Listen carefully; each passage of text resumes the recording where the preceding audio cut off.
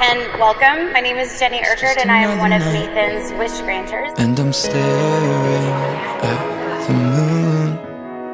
I saw a shooting star and thought of you. Now, some kids don't know what they want immediately, but Nathan did. Nathan wanted to go to Disney World. These officers and firefighters who are here are teaching these children that it's a tradition we continue in Fort Worth. That when someone has a need, we show up not just with our resources, but with our love and caring to help benefit them. Miles away from seeing you. But I can see the stars from America. I wonder, do you see them too? So open your eyes